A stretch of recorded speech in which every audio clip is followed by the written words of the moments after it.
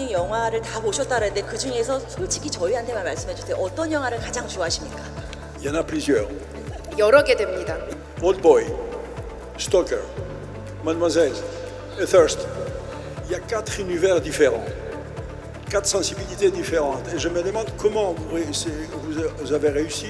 Je connais les difficultés du choix des, des films et des sujets.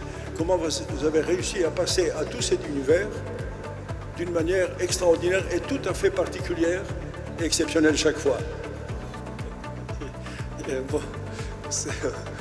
그냥 뭐 그 앞 앞대 영화에 대한 어, 반성이 그 다음 영화의 변화를 이끄는 것이고 한번 해봤으니까 좀 지루하다 변화가 필요하다는 의식이 또 다음 영화를 그 다르게 다른 방향으로 이끄는 것 같습니다. 오늘 기회가 되면 제가 코스타 감독님께 드리려고 갖고 온 질문이 바로 그건데요. 어떻게 어, 선제 공격을 당했네요. 오늘 밤을 새워도 두 분 얘기는 끝나지 않을 것 같습니다.